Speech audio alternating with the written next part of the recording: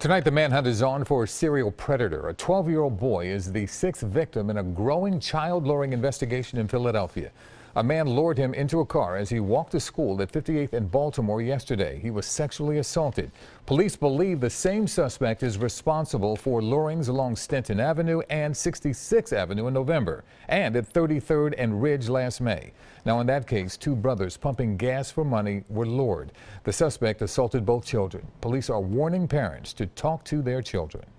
One of the incidents that was described as a black vehicle, this one here is described as a burgundy Subaru Outback. Our victim, who's 12 years old, describes him as a black male in his 30s with a beard, brown complexion, heavy set, six feet tall, wearing a black hoodie, low haircut, and identified himself as Malik.